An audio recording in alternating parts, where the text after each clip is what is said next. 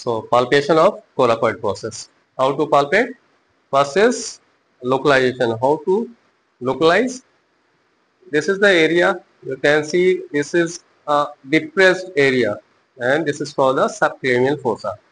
हमने पहले ही मार्क कर रखा है this is your superior border of clavicle and this is the inferior margin of the clavicle and this is the area which is called the subclavian fossa and यहाँ पे हम palpate कर सकते हैं, एक पॉइंटेड एरिया है that is basically your lateral end of the clavicle ये lateral end of the clavicle है यहाँ से स्लाइड करना है एंड देन यहाँ पे ऑलरेडी मार्क कर रखा है